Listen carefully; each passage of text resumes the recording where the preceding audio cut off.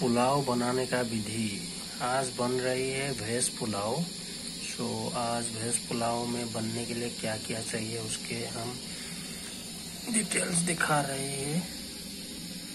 ये हो गया आपका कटा हुआ बीन्स एक बड़ा सा एक कटा हुआ गाजर, ये आपका हो गया काजू, ये एक हमने छोटा सा आलू लिया है, ये थोड़ा सा प्याज है, ये एक ग्रीन चिली।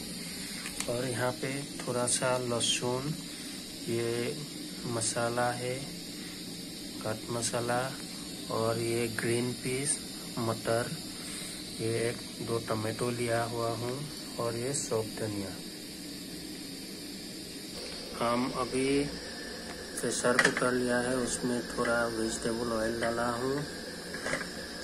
ऑयल गरम हो रहे हैं। हम अभी डालेंगे इसमें जो हम गुट्टा मसाला लिया है तो ये डालेंगे थोड़ा लवंग, तेजपत्ता।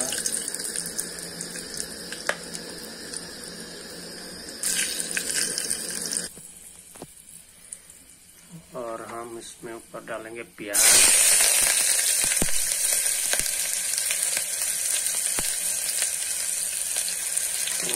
प्याज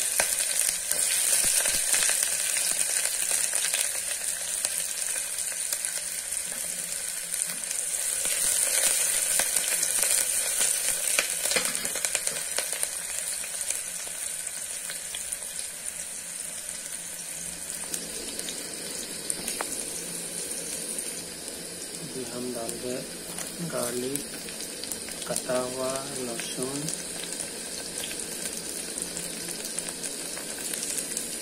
इसको अच्छा से मिक्स कर लीजिए।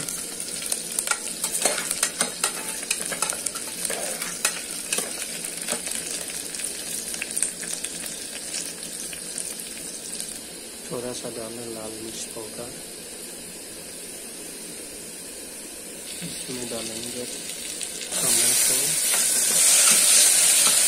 टमाटो को थोड़ा फ्राई कर लेंगे।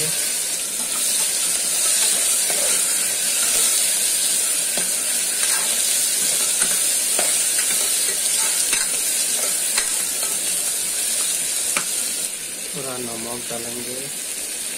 आपका स्वाद अनुसार नमक डालिएगा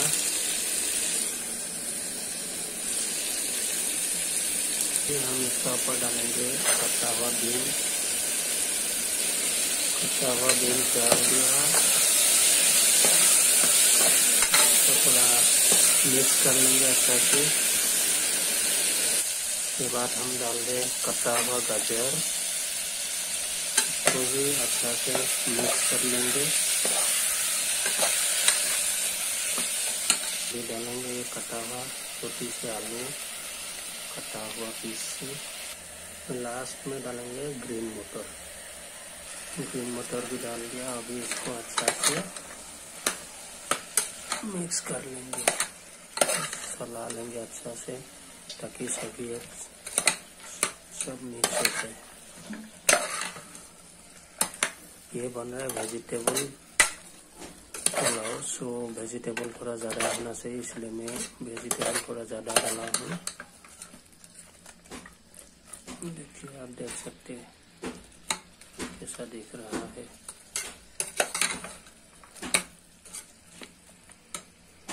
वेजिटेबल को थोड़ा सा पका लेंगे। फिफ्टी परसेंट पका लेंगे, उसके बाद हम डालेंगे चावल। चावल हमने इसको भिगो के रखे हैं। अच्छा से धो के भिगो के रखे हैं, ताकि राइस बनने में वो अच्छा लंबा बने।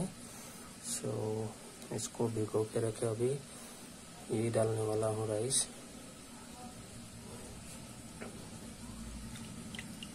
ये आपका ये राइस है। ये ज़्यादा नहीं, पाँच मिनट पहले भिगो के रखना चाहिए, ताकि पकने में थोड़ा अच्छा होता है और राइस थोड़ा सुंदर होता है, लंबा होता है बनने के बाद। देख सकते हैं थोड़ा पक गया है अभी हम प्रॉपर डाल देंगे राइस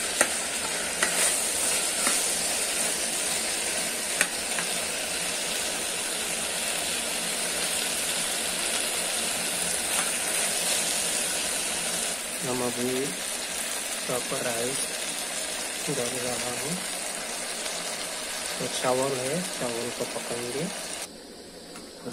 चावल पका दिया है, राइस बना दिया, इसमें डाल दिया। इसको अच्छे से मिक्स कर लेंगे।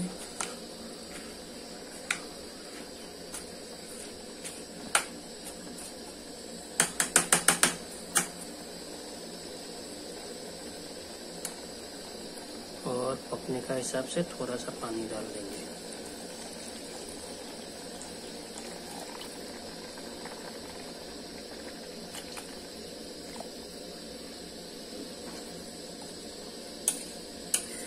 उसको एक बार अच्छा से सला लेंगे ताकि नीचे ना बैठ जाए मसाला। नहीं तो नीचे जलने का चांस रहते हैं।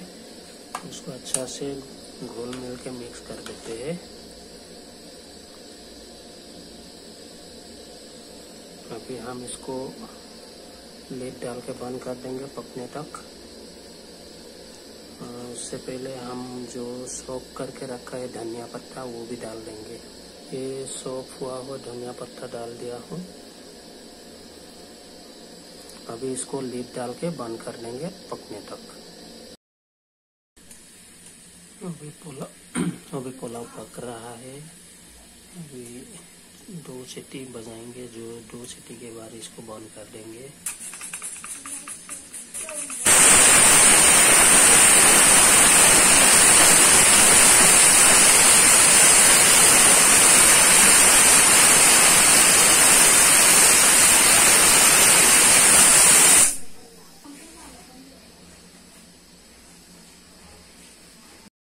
से अभी पुलाव रेडी हो गया।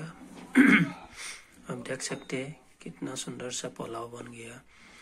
ये हो गया आपका vegetable pulao so let's do it guys you can also enjoy and make it fast easily and short time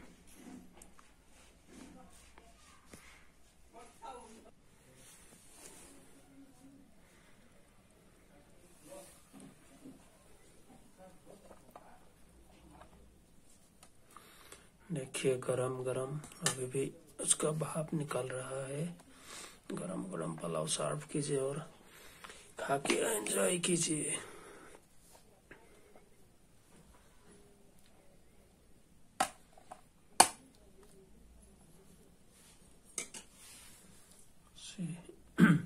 सी एकदम होटल जैसा बन गया। आप भी घर में आराम से बना के वेजिटेबल पुलाव का एंजॉय कर सकते हैं। Okay, thank you. Bye bye.